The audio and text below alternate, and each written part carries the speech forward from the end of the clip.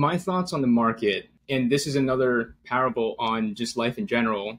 There's the signal and there's the noise. There's a lot of news nowadays, right? And it's easy to get caught up in headlines and thinking about interest rates and all of that. But you as a person, for us, we're not Blackstone. We're not a trillion dollar fund. So a lot of these macro movements don't impact us as much. It's more so just micro adjustments in how we approach our business.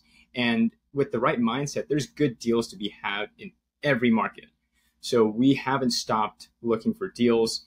Consequently, or actually, we, we found some of our best deals now in what people say is one of the worst markets to, to look at. And we didn't find anything when the market was hot, when the interest rate was low.